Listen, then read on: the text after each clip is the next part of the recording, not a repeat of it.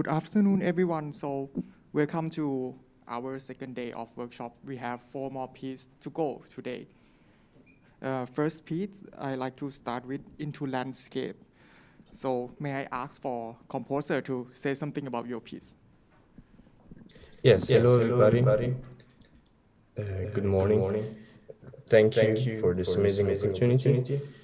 And, and um, yeah, yeah, I'm a I'm second year student, student from Royal Holloway, and, and uh, my piece is called Into a Landscape. landscape. And basically, and basically explore the relationship between sound, uh, uh performers, uh, listeners, and, and the instruments, and it creates kind of a door into this landscape landscape where in which you can enter and uh, leave as you prefer and, and the idea was kind of to make it rise and fall with the music. And um, yeah, I hope you enjoy.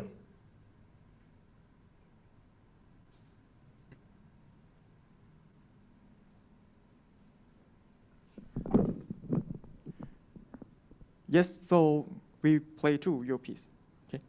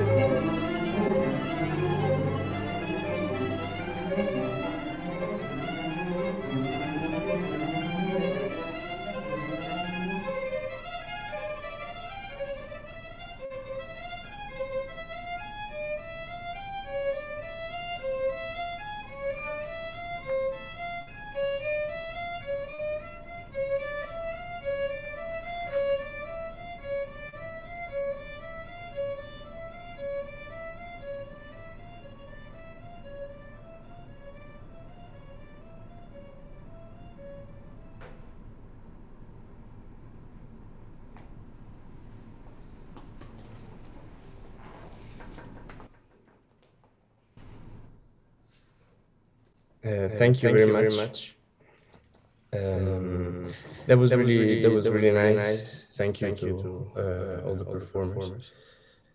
Um, um, yeah, I mean, I have, I have maybe, maybe little, little thoughts, thoughts that, that also can be shared with the committees.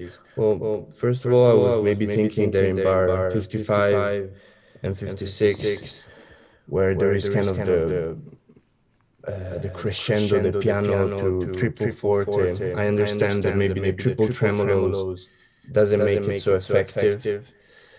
So I might, so I might uh, uh, change, change, that to maybe a single, single tremolo or no tremolo, tremolo because I want that, that uh, forte, forte, forte, forte to be really forte and the difference then with the, the, the PP.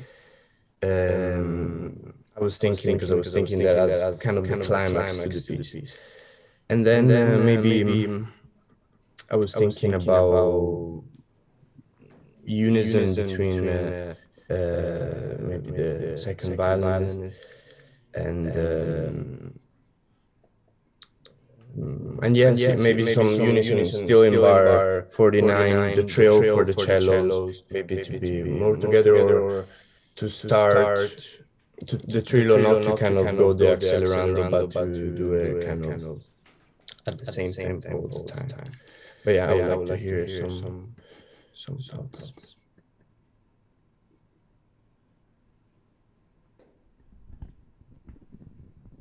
Any other comments from our mentor? Can you Can hear you me? Hear me? Are you getting, Are you getting feedback when I talk? Um, I want to talk about dynamics for a little bit uh, because as I look uh, at this score, uh, I see some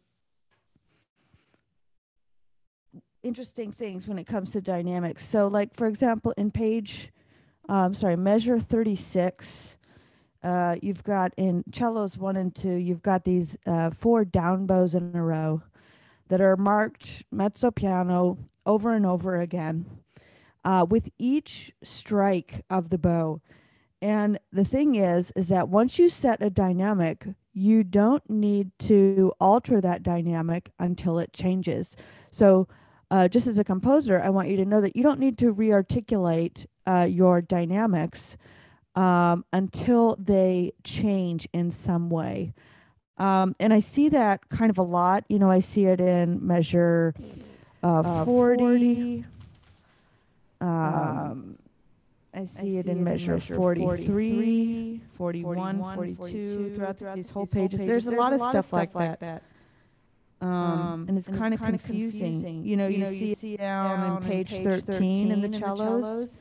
You have, a, piano on beat, one, then on beat, two. Piano, marked, again, crescendo, to forte. Back, to, piano then piano, then piano again, again on the downbeat. So it's so a lot, a lot more than, you need. need. You really just, really need, just need piano, piano, crescendo to forte, piano crescendo to forte. Um, dynamics can be really tricky in that way. It's really something you should keep an eye on. Yes, thank you. Um, I was just trying to be over to over clarify, but yeah, I understand that it's confusing and it's. I, oh, I totally, totally I totally get no, that. Uh, trying to be really clear and everything, but the thing is, is that what the players do is they're they feel responsible for reading everything. Yeah um, and it's sort of like um, a lot for the eye. And it can end up in the long run taking away from the ability to speak freely into the music, to express yourself, to feel the phrase or the gesture that, that you're trying to uh, express. Um, perhaps in the interest of time, we should talk more about musical issues and anything that you'd like to hear um, again, or anything that you'd like to try in a in a different way? Um, yeah, maybe I will try that uh, that passage that I was describing, uh, starting from bar uh, 56, and maybe trying to do it without the tremolos and accentuating more this relationship with piano to triple forte. And and I'll just say, I mean, I congratulations. I think it's a beautiful work. I particularly found the ending really striking. Um, so thank you. Good work. Yeah, I mean, there are certainly some things that are perhaps over notated or redundant, but um, yeah, it happens. In that particular passage, um, I was wondering if maybe we could arrive at the triple forte at on beat four, so you just have some more time to be in that special dynamic before going back down. And also, I wonder if the sul pont could be um, across the whole two bars between 56 and 57. So basically, you go from ordinary at the start of 56, and then 57 would be completely sul pont, just so we can hear um, that change. Because um, again, I think I mentioned this yesterday, but um, I think there are some indications that don't really allow time um, for us to perceive um, the timbral changes or the dynamic changes for that matter.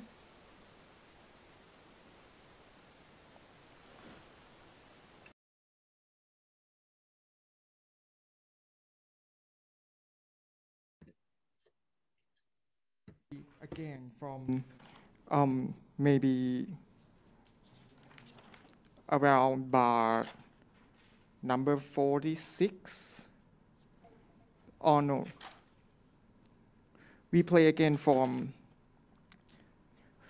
49 and then we play that middle section that that sul ponticello section.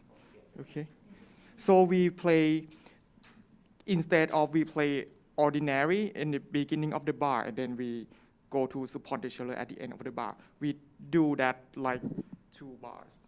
First bar we play ordinary and then we crescendo to two bars. And at the end, we, we, kind of like go, do you still need the effect of ordinary playing that change, slightly change to sul ponticello?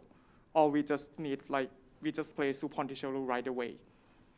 No, maybe the change will be nice to go through, yes. And, and you can change every two bar as, yeah. Okay, so, but the dynamic we still play the same, right? We have yeah piano, and then at the end of the mm-hmm. bar we go to three forte, right? Yes. And also, um, from a performer's perspective, I feel that it's a little bit difficult when you mm-hmm. when you do a crescendo and also have a sul ponticello in the same time. Oh, okay. Because when, when okay. we play sul ponticello, that yes. that's that's like many level of sul ponticello you can go. You can play like really on the bridge, and it will not get any sound. It's just like a wolf tone or just the effect. But normally when we see a sul ponticello, we play not exactly on the bridge, but near to the bridge. Okay, so so that's where we can do like a crescendo, but it's not gonna sound very loud like you play normally. So it's kind of a little bit um, difficult for us to play. Um, do you still need that tremolo or we change to 16 notes? Or we, um, we can do the tremolo only in the fourth beat maybe. So start without tremolo and then do the tremolo crescendo to the tremolo. That was the idea maybe.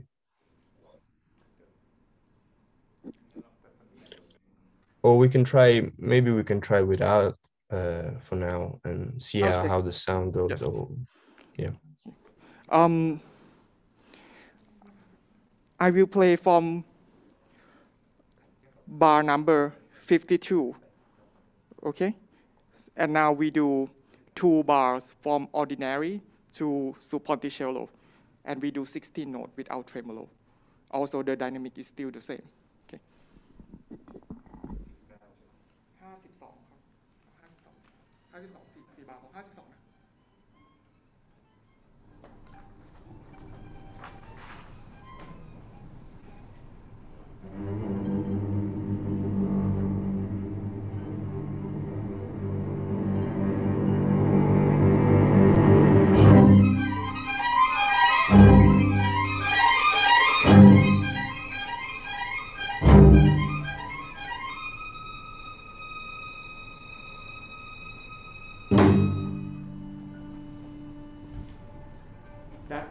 is uh, 16 note that we play.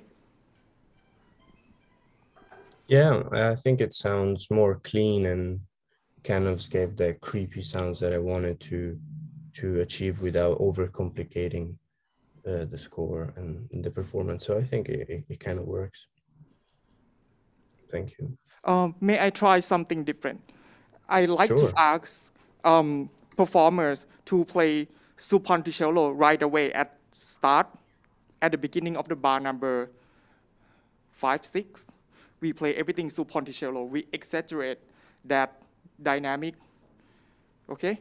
And we play really on the bridge, not near the bridge. We, we, we try one time on the bridge, okay? Same. Sul Ponticello right away. We, we go to ordinary, play at bar number 60. 59 still the same. Okay?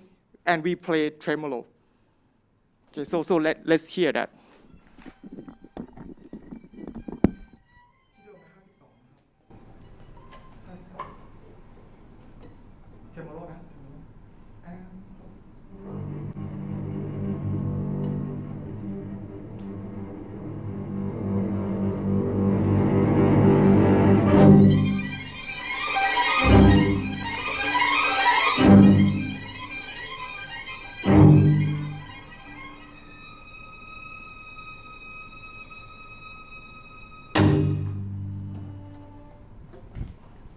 Is it better?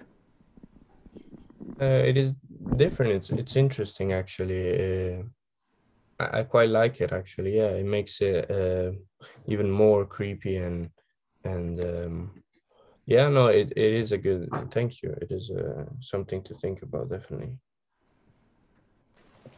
I think it's a question of deciding um, how what parameters you're changing, and also, you know, if if one thing stays the same, like the timbre in this case, we're able to perceive the dynamics more because the players are able to focus on it. So I think, in a sense, um, it's a good lesson of just like picking your battles in terms of what you want um, to come out for the audience. I think just physically, the technique, um, sometimes it's hard to do all of it at the same time. Um, and also, because if, if they're trying to do everything at the same time, some effects kind of cancel each other out. So you just have to make your decision. Yeah, I absolutely agree with that.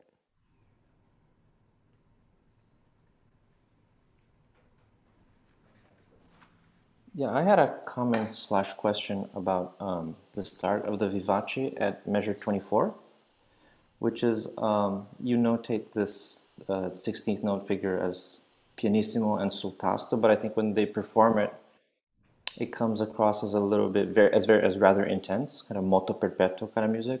I was wondering if you were happy with how it sounded, or if you wanted to try something different, maybe more sul tasto, maybe softer, but still keep the same tempo. Um, we can definitely try. I was I was thinking obviously this part was um um yeah had to be kind of uh, out of the eye and you had to hear but maybe yeah the actual uh sul tasto makes it too yeah too too loud we can try softer but then in that case i guess we have to make all of the uh kind of all of those 16 notes softer i think Yeah, I, I think the Yeah. sul, the sul tasto actually makes it softer. So if you wanted to try Soft, something, uh, we could okay. make it Oh, more okay. more tasto. Mhm.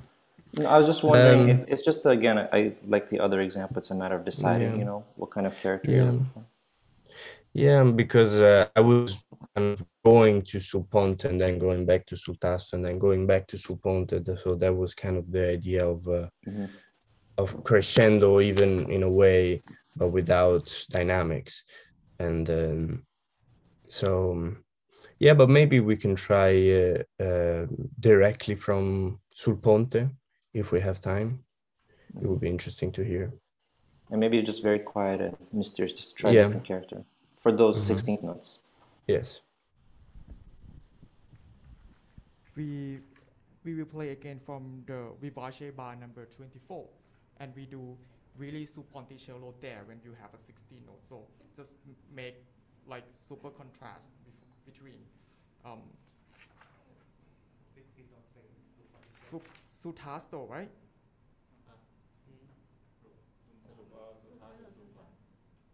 Bar number 24. It's written sul tasto in my score, no? Ah, that there was no, not written in the part. They don't have sul tasto. Ah, okay, okay. see. Um, we try to exaggerate the difference between sul tasto and sul ponticello throughout the section.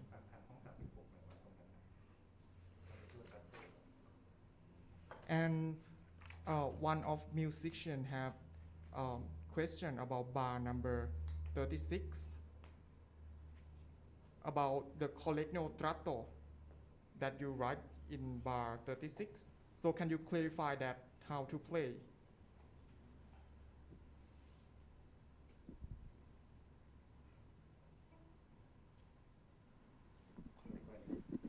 On first violin and second violin. Yeah, I wanted to create kind of a continuous uh, kind of maybe you can do like a 16 note continues uh, on the on the bow uh, on the legno with like kind of rotating the yeah rotating the So you want us to just- play long the whole bar, just one bow, or tremolo, or 16 note? Um, maybe you can do. Um, maybe you can do one. Yeah, maybe you can do one um, big slur. Yes. Because when you, yeah, when we play that with hmm wood and hair in the same time, the sound is is quite soft Mm. and, and, and it's a little bit difficult to hear. Okay. Okay. Yeah. And so do you suggest you maybe making it uh, not Like one, but uh, like a tremolo? Yeah, maybe we could do that as well. Yeah. Yeah. We we try that Thank bar you. as a tremolo, Yes. Thank you. and now we play the middle section once again.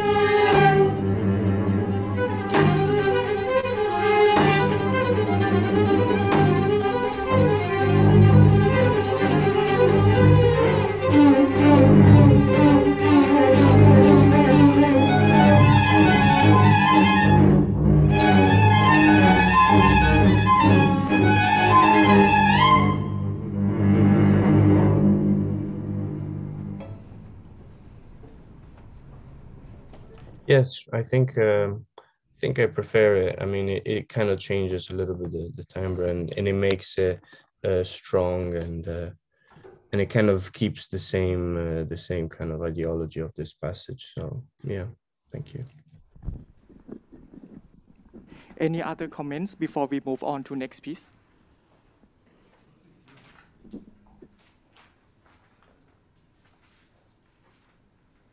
Okay, so next piece is Always Wondering by Yishi Zhong. So can I ask to composer to say something about the pieces? Yes. Hi, everyone. My name is Yishi, and this is uh, I'm first year student in Mahidol. Um, this piece is mainly expressing a kind of chaotic feeling uh, from a working process, the kind of panic and struggling feeling with fitful wakefulness and a sense of incapability before uh, meeting the deadline. So as a it's a kind of common feeling as a composer or as a student specifically. Um, so I basically try on uh, using polytonality and the effect of different textures overlapping one another. Yeah.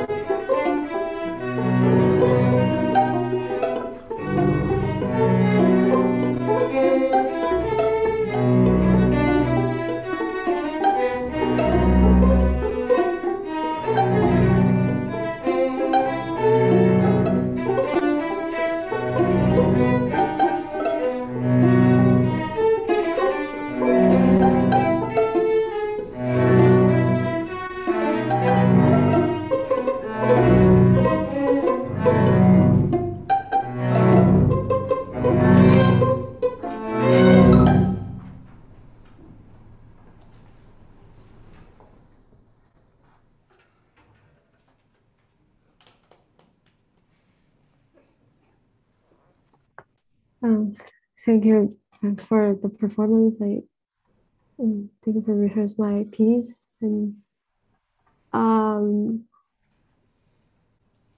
and uh, so first I think uh I made some mistakes on the dynamics volume of uh different parts. So the pizzicato parts I uh, feel like it ha it should be uh, it should not be like sample P piano uh, throughout keys. It uh, should be lo louder volume, and this is the uh, first problem I think of, and uh, um, and also the tempo of the uh, the entire piece. And uh, I initially uh, wished it to be uh, faster like uh, it might change the whole feeling of the piece. And if, is anyone has any comments on this? Uh, Uh, I really want to hear from the other mentor composers, but I, I will firstly just congratulate you. I think that you did an excellent job with this with this work. There are so many great textures and elements and things that I really love about the piece. Um, Thank you. I just maybe two things. I think that the ending section, um, basically from 41 onward, the double bass and cello is a little bit overbearing. And I think increasing the dynamic level of the pizzicati can maybe help with that, but also maybe just decreasing the cello and bass um, so that there's a little bit more space for the other elements. So I would say from 41 to the end, the lower strings can maybe be a little bit less. I don't know if you disagree with that, um, but I, I might try try it. And you could also try, you know, from this discussion about sul tasto and ordinario and sul ponticello, maybe also making that um, sul ponticello so that it's a little bit more transparent. Uh, not transparent exactly, but without the same weight, could help for to bring out some other things and you know have greater contrast between the lower string parts and the higher parts.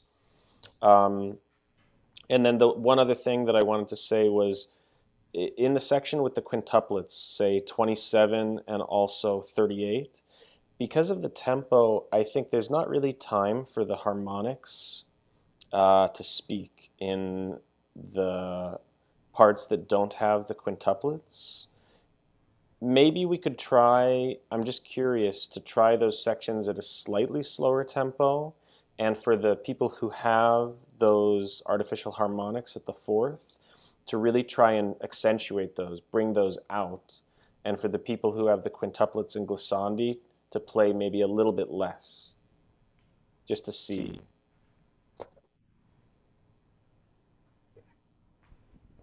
Hi, um, great piece, Yishi.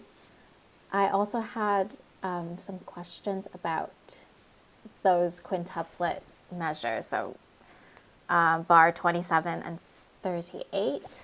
Um, for 27, I know they're sort of like repeated um, sections, um, but for 27, I was just wondering whether rubato is the best um, indication for this material.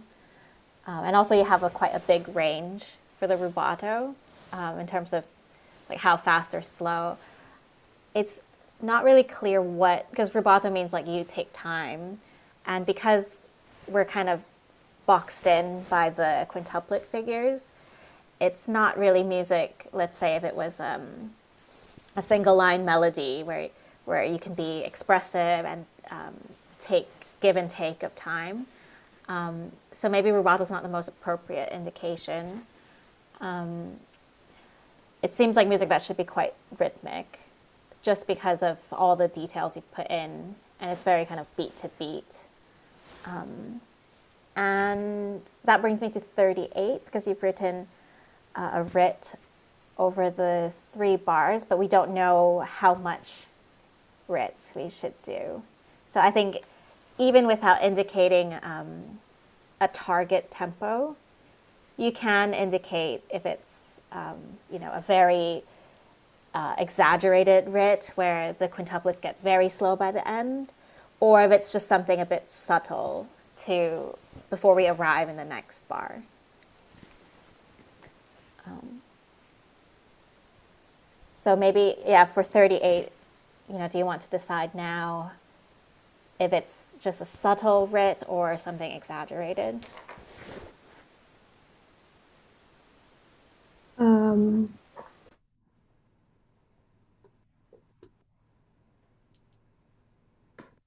uh,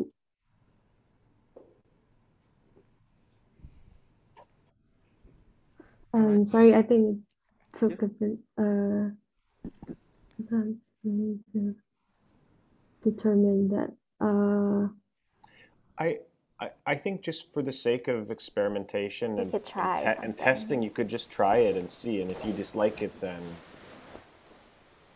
you go back. So for the third from the 38, mm-hmm. uh, I'm sorry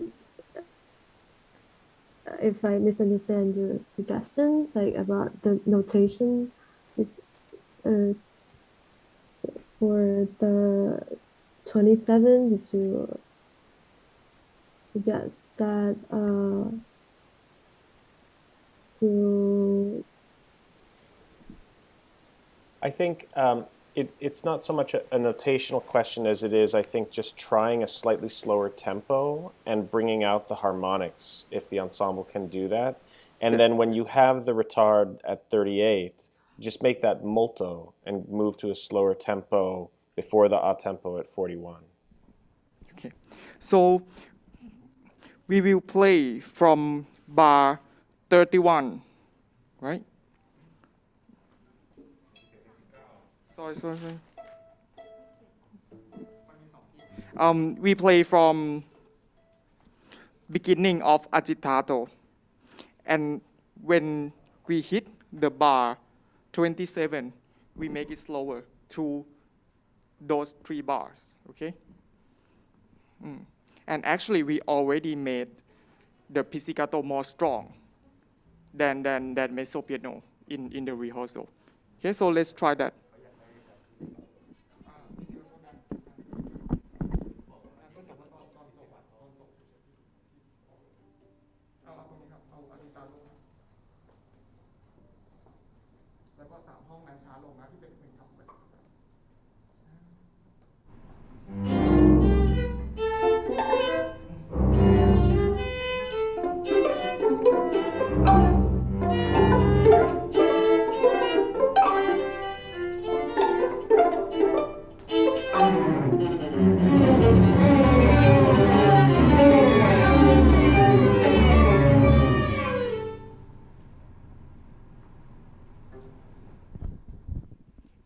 The way that you want?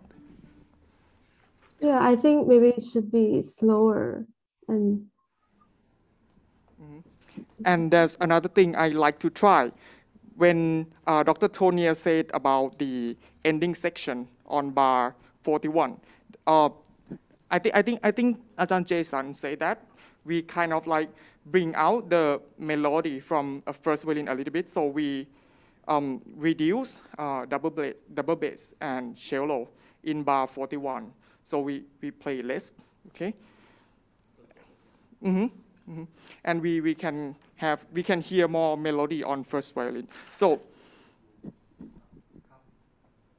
Um, uh, actually, I. And also, um, in bar 41 double bass have G and you can you cannot play that double stop on, on double bass in bar 41 and 42. Okay. So we play only the lower note. Okay? Okay. Yes. So I will play from bar number 31 until the end. Okay, and in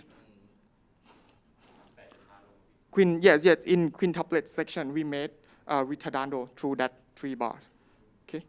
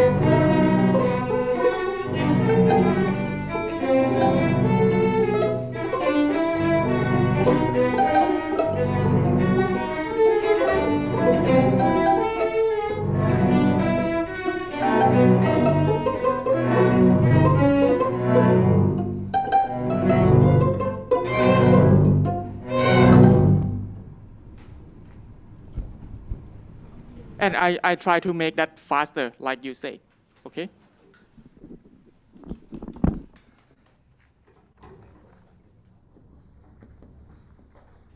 Yeah, I think that sounded much cleaner, and I like actually the tempo gives it more liveliness. Um, I just wanted to add something that maybe is not so much for revision, but just a comment that I really like the piece, and I what I like most about it is this this subtle sense of humor that you have. It's not like haha funny, but it's um, very quirky in a very interesting way. You know, and I think that's something um, that you could consider playing around with more.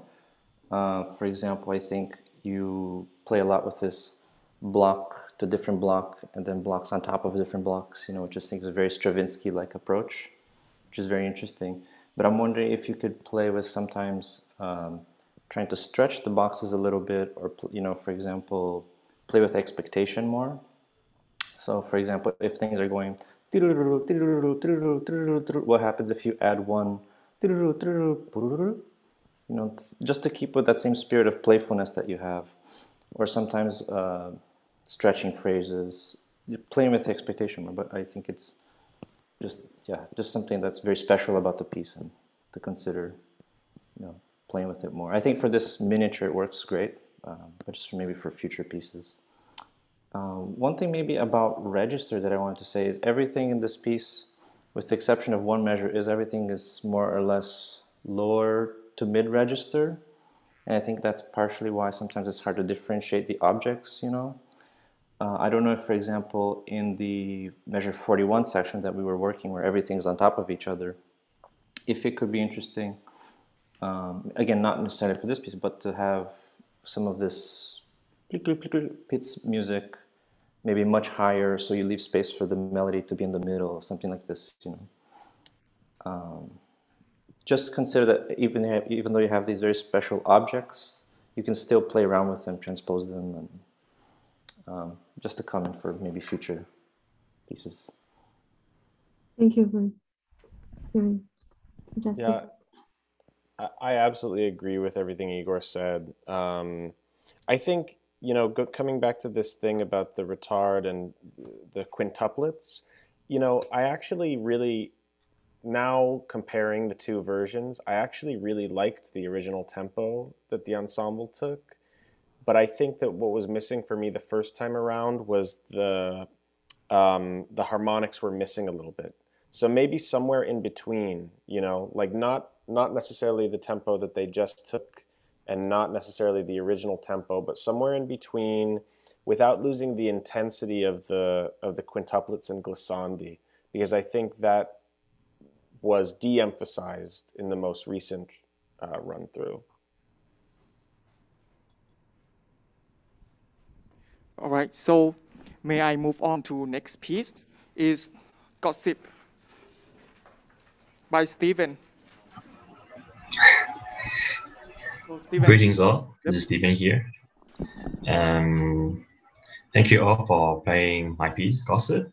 And for this piece, this piece originally was composed when I was working out of public, and it was during a time where Squid Game, Poppy Playtime, and Talent Politics are on very on fire. Lots of people are gossiping, talking a lot, a lot about that.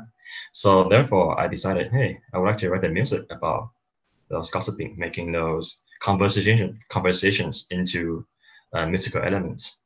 And this piece was designed to be a fun piece. It's not particularly at the setting of my home country, but it's I want to make it a fun piece that on um, gossip in general, so the performers they can interpret from what they heard about the gossip nature and implement it into uh, into performing this piece. And yes, that's all I have to say. And please enjoy.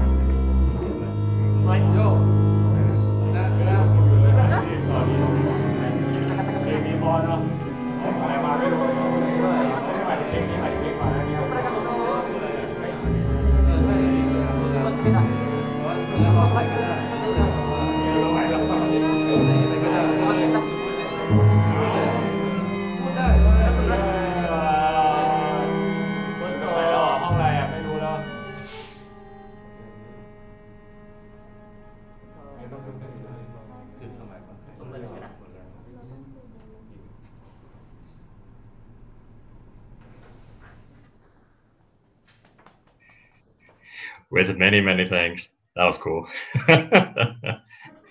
I really like how like the hey suddenly so surprising and it caught my attention because I kind of forget I it's kind of in the past. I can kind of forget this piece a little bit. I really like the interpretations from many of the performers. Mm, I don't think I have any much more much comments. I'll just probably say one thing. I'm not sure. I could be mistaken. Maybe the violin one solo was about one bar ahead. Well, I'm not sure which way. I think that's all I hear. But everything else, um, very really grateful for all your performance. So I have a question. Like, what we did is that every queue or every entrance is that the way that you want? So you mean for the numbers in the box that I wrote? Is that right? Yes, those are every cues actually mm. to help for all the performers to be together on time. That's initially the plan. Did I get it right?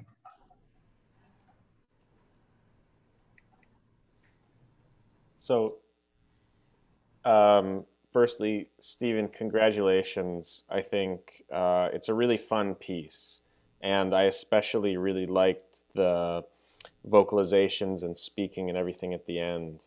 Um, you know, dealing with aleatory and these kinds of event boxes, something that I think about is ways in which I can um, ascribe variability within the events themselves.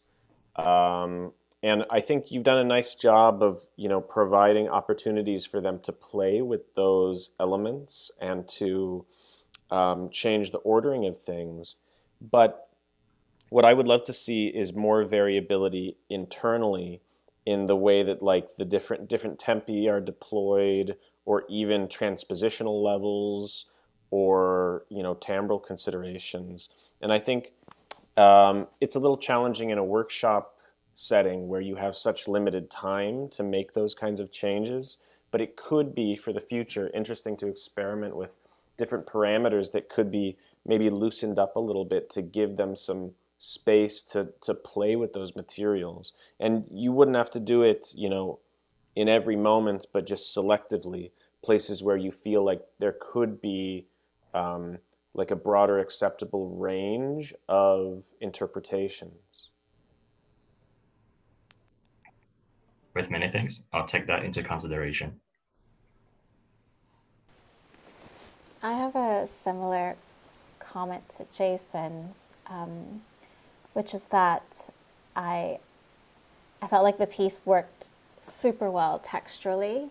You're able to control the activity um, in a really clear way, and um, I think it's actually more fun for us looking at the score at the beginning until the actual uh, vocalizations come in. But I think because you were so clear about um, the characters, it comes across to a listener as well. Um, but my major, um, I guess, um, comment about the piece is that it lacks a little bit um, change of harmony. So, for example, I would have loved to have a big shift of harmony. That there was like one big moment where everyone comes in at bar 22 that might have been a moment to just change up the spacing or the kind of intervallic material. Um, and otherwise, I felt like the next major shift in harmony was when the vocalizations come in, in a way, because we sort of suddenly had this freedom.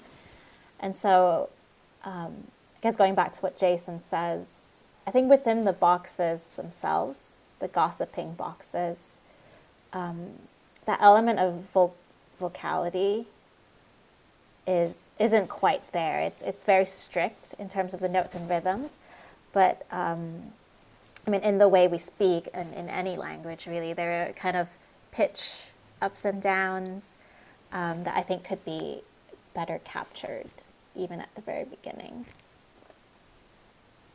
Yeah, I was actually going to say the same thing. A lot of the gossip boxes they remind me of Messiaen birds a little bit more than they remind me of speech, you know? I wonder if we just took some of the rhythmic notation away, if that could help. Because they're very precise. Um, I don't know if it's even worth trying the beginning, but uh, to have the violinists both not look at the rhythm, just look at the pitch. And I totally that... agree with this idea.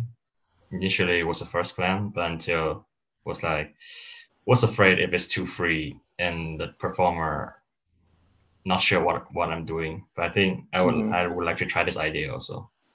Yeah, I mean, if even if you just indicate some spacing, you know, like if the six 30 second notes don't have the stems, they'll be closer together, and the others will be a little further apart, and that'll give a sense of some indication of. Uh, but I think we should just, and it always also depends on the ensemble. You know, here everyone's obviously very good and game for experimenting. And you know the vocal the vocalizations are amazing by the way. Um, so maybe it's worth trying. I don't know. We have time. Yeah if if we could take two minutes maybe to just try introducing some more internal rhythmic and maybe pitch level variability. Like if they could if the musicians could freely kind of choose in some moments to transpose the pitch level of something up or down just slightly could be interesting. Yeah. Also, one note is that I think at measure eight, when it happened during the last run, um, the activity seemed to stop as soon as the cello solo comes in. I don't know if that was on purpose or I think we wanted the activity to keep going, right, Steven? Yeah, actually, I want the activity to go on. And in measure eight, it shouldn't stop. I'm pretty sure. Yeah, I think I remember the ensemble dropping out a little bit and then the cello coming, or just maybe it was just Zoom or something. I don't know. Um, mm, maybe Zoom, I would guess. Yeah. Anyway, I think we should maybe do it again until that moment or past that moment a little bit. uh, depend on the, the ensemble. Maybe they can decide. I'm good with any. I'm good with anything. Yeah. We will play from um, cue number two at bar seven and make sure everything keep going. Every activity keep going until actually everything is keep going until we hit bar number 22 right? Yes. so we can try that. And maybe we could just try to transpose some of the given pitches. Let's say in bar number 13 no in bar number 14 when double bass come in with that low C bar 14 um, we kind of like doing some harmonic shift we change the pitches maybe higher from what. Okay. okay And Yeah. and don't forget the rhythms as well. Some we I, it, don't- it it could also be somewhat free, like not only in measure 14, but at the discretion of the performers. Just choose selectively once in a while to, to change the pitch level. Mm. Okay, So we play from bar number eight, Q3.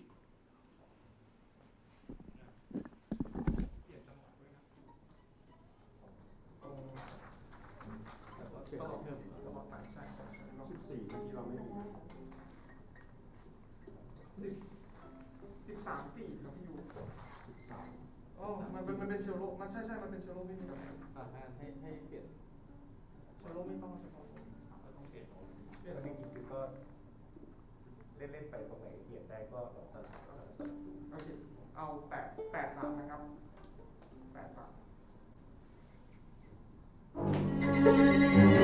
Does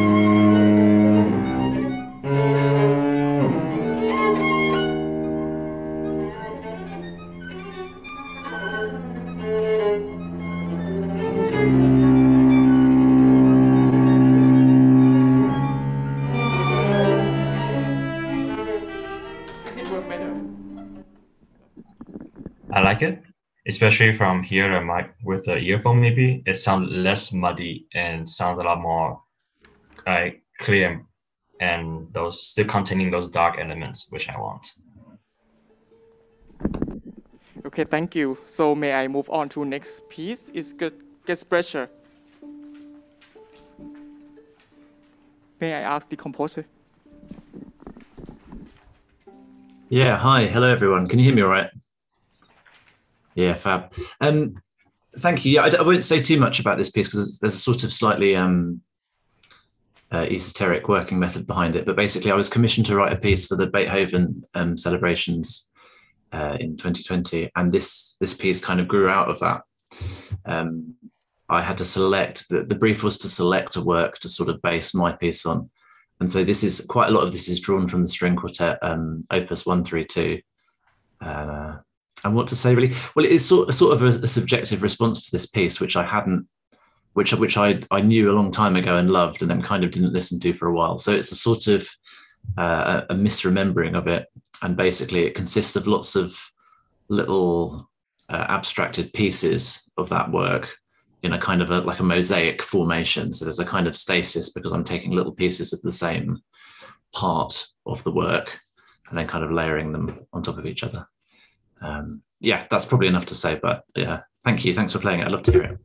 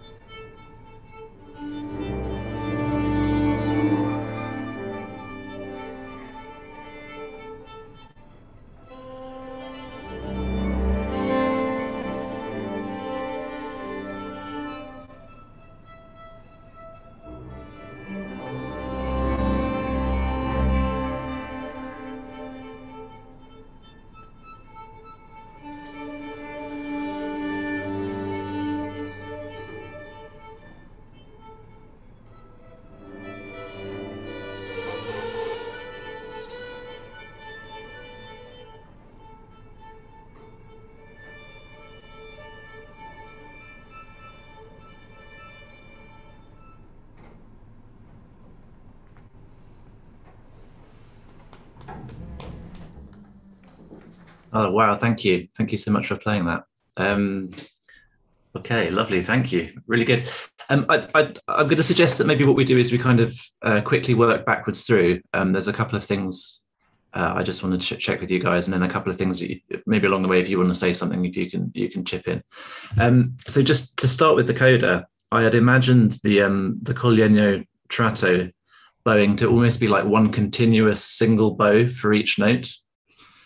Um, is is and there's a few kind of repetitions, kind of rebowings and things. Is that uh, in it kind of in service of projection? Is that what's going on?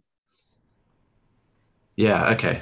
Could we could we try? I mean, could we maybe try? It's going to be incredibly soft, which I which I appreciate, and that's that's fine. I wonder if we could just try a version of the coda, just a couple of repeats, with everybody doing just a single bow. Would that be okay? Yeah. Great. Thank you.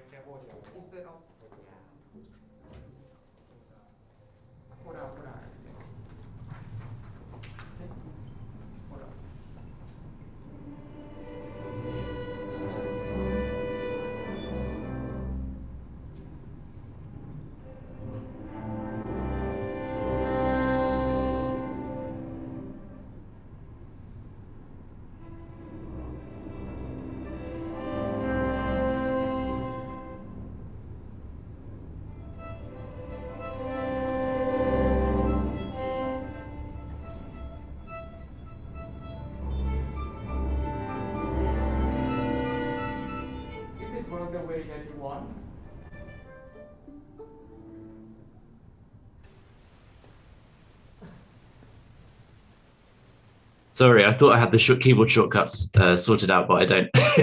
um, yeah, it felt it felt much much more intense. I think for being played that way, I thought that was great. Um, and it, but it's interesting that there's an unevenness. So some of the notes are speaking more than others. Um, I don't know. That's something for me to think about a little bit. Um, okay, I mean, I think that sounded that sounded brilliant. Did you? Was there anything you wanted to say about that? Was there anything performer wise? And yeah, yeah.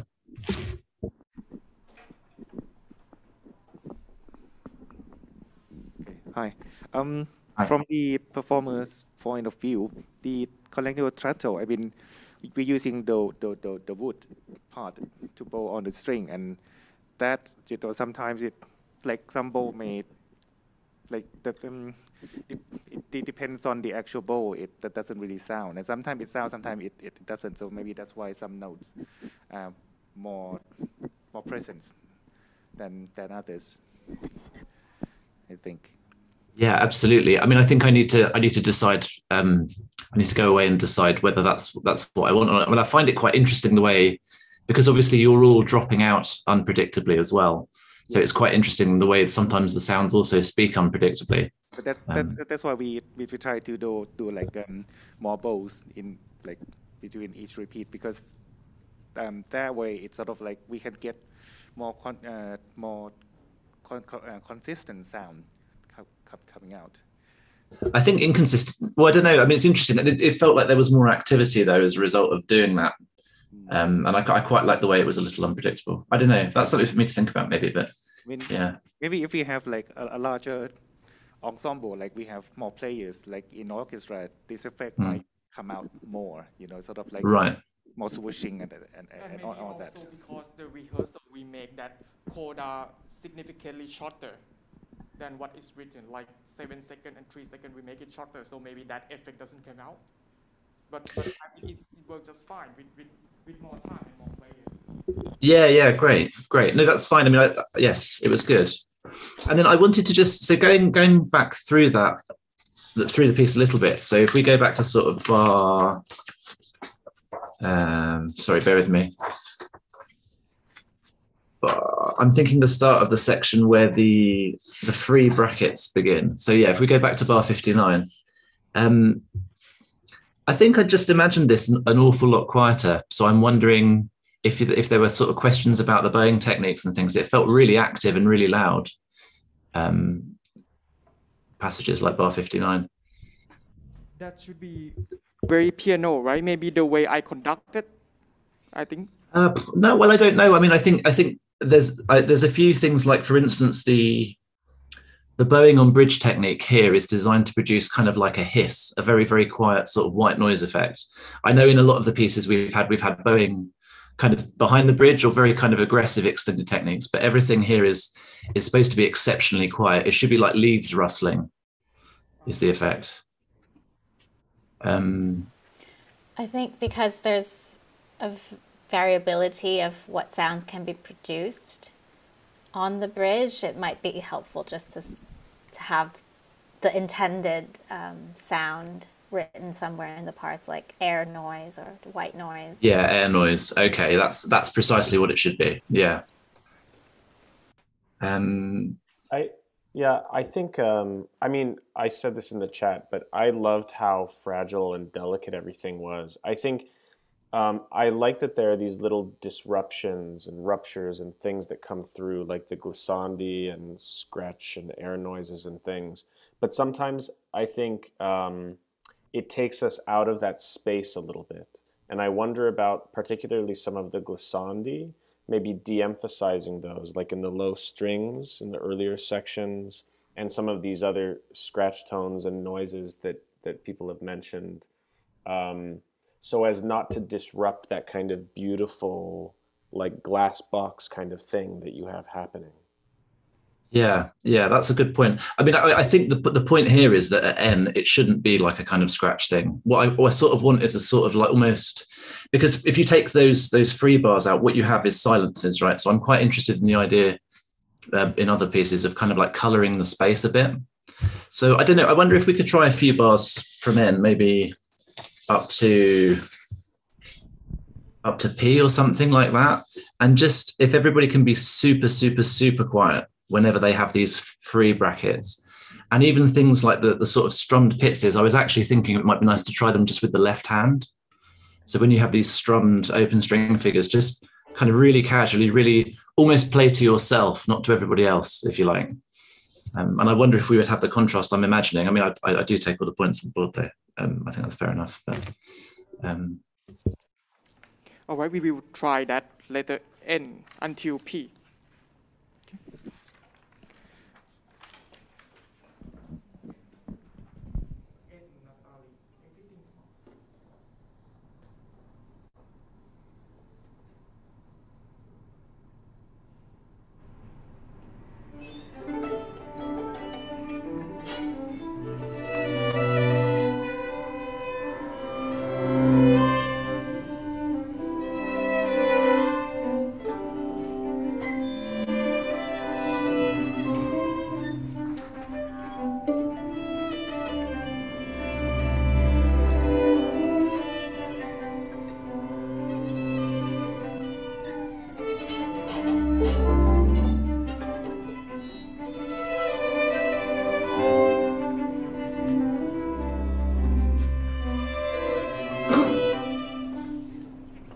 Yeah, it's interesting. It's still I don't know. It's really hard to tell without sitting in the room with you whether the projection is coming across because Zoom is doing something to the audio, or whether it, whether it's actually it's actually just projecting because, like Jason says, it's busy and it's kind of um, I don't know interpolating itself into the in, into the sound in, a, in an uncomfortable way. It's interesting. I'm going to have to think about that quite hard. I think.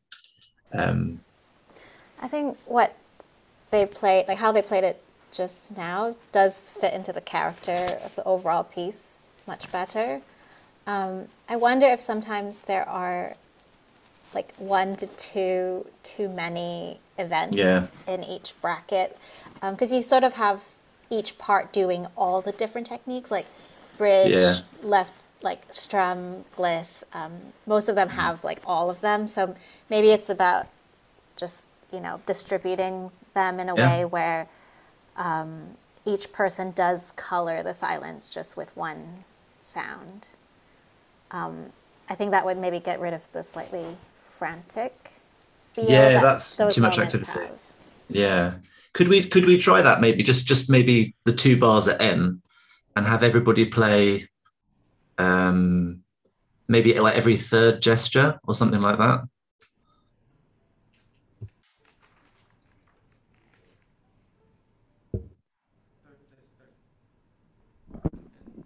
What what do you mean by? So every every one in three, So rather than playing every single thing inside the box, play play one and then ignore two, and then play the fourth one, if you like.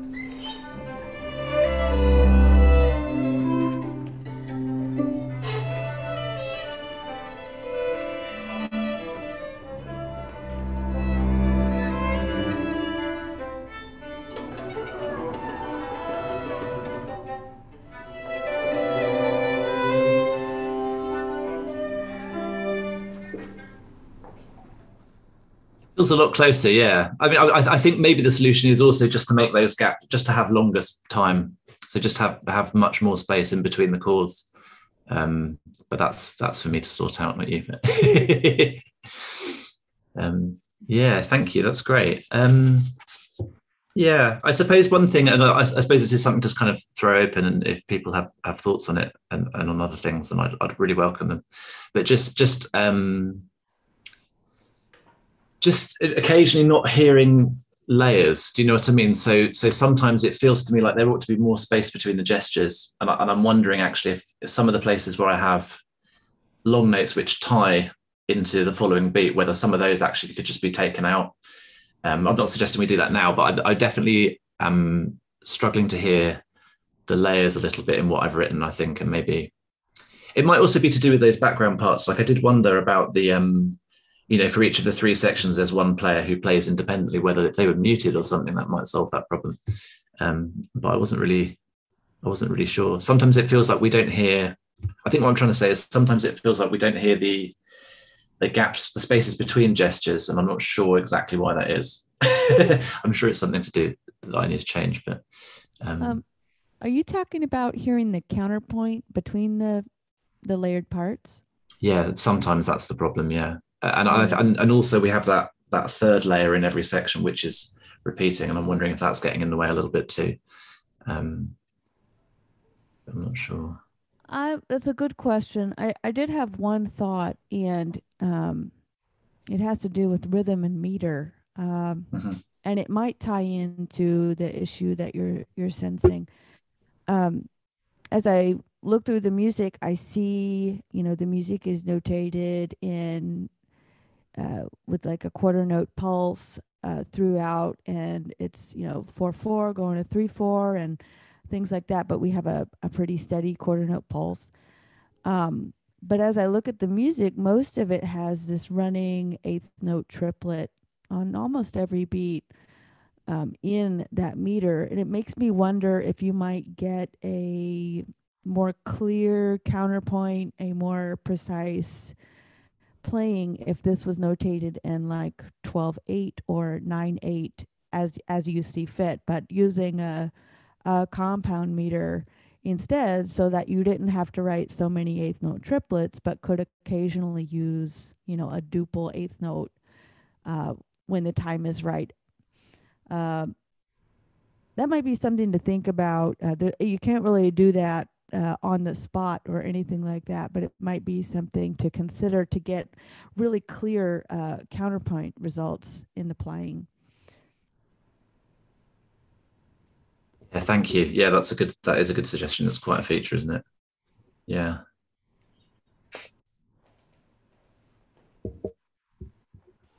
Yeah, I think performance-wise, it would clear out the the textures would be cleared out if we you know, the third layer, you mean the third violin, second violin, right? The uh, ostinato. If everything but that, um, so whenever you have a swell, if we could focus more on the soft side of things, if it was overall softer with a, a few um, swells here and there, so it's more of this um, radiant texture, you know, uh, and then this ostinato just stays kind of in its own space. And I think if that was the case, the ostinato could also remain softer and be more gentle and kind of flowing. I think that's one. But I think are you talking about in the? Sorry, Karen. No, I, am talking about generally the, the, the beginning of the piece, for example. Yeah, um, and I think is that a, is that a notational thing or is that a, a performance thing? I think it's a little bit of both. Um, I think you have to exaggerate notation a little bit, maybe. Um, but we, it could also be something that's just in rehearsal time. You know, it's a very delicate, nuanced piece. Um, but I think similar to what we did with the uh, section with the extended technique stuff, I think it feels a little bit dense, so you can't just hear everything. You know, um, could be the case too. Yeah, thank you, thank you. It is a thought. Um, um yeah, it, I was interested. Sorry, yeah, please carry. If someone's got some some more comments, please. I I was just going to say also. I mean, I, I said this in the chat, but with a larger orchestra, you know, these issues will be multiplied because the texture is only going to be more dense. So, you know, the solution could be just simply adding a note that at any point the musicians are free to omit material um, in order to make the texture more sparse and just giving them a little bit more flexibility with that. I mean, just just even you know uh, nota bene sort of thing that would then allow them to feel free to do that. That's one thing I like to try, is that we we will play again from very beginning and be careful not to over sustain the notes when you have the rest. Please make it make it stop. Okay really stop. And then we kind of exaggerated the dynamic a little bit when you have like mezzo piano or diminuendo or crescendo or whatever, we, we exaggerate, exaggerate that. Okay, and we care, be careful of the rest when, when we stop playing, not to over sustain the notes. And let, let, let's hear, is it work better? Okay. That would be great. Could I just make make a, a, a, tiny request as well? If we if we're going from the top, could we try with um, violin 2C muted. Would that be okay? Just to see if that does make any difference. That would be that would be great. Thank you.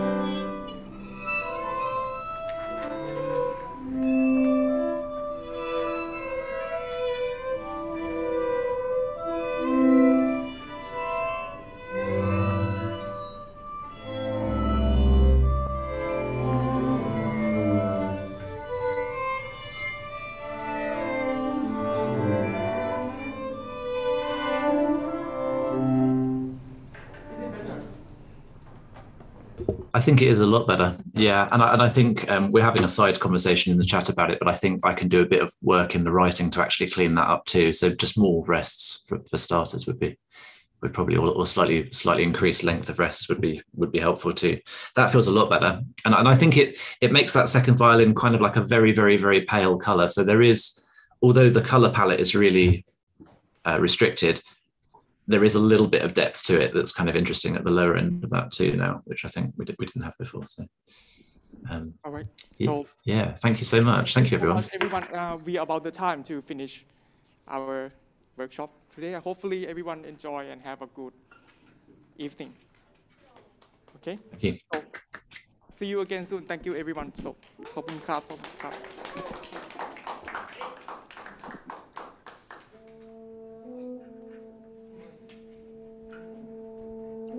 Congratulations to everybody. Really fantastic work.